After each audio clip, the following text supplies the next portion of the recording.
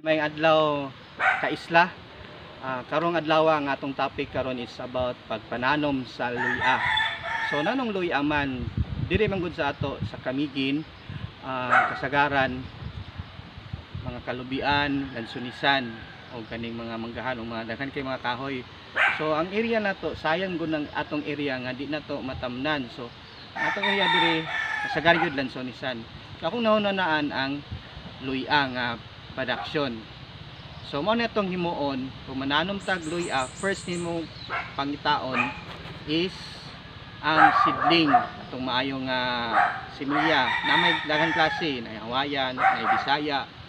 Ah, basta daghan to klase nga mga luya so akong nakuan diri katong dagkoon na seedling so gahapon namalit ko og seedling sa merkado. Nangita ko mga dagko nga klase.